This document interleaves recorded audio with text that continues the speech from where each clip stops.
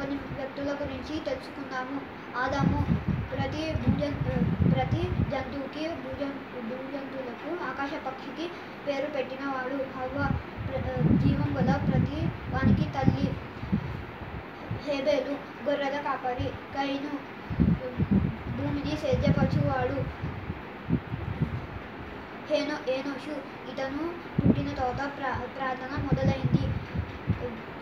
హానోకు ఇతని దేవుడు ఇతనిని తనతో నడిపించుకున్నాడు తనని తీసుకుపోయాడు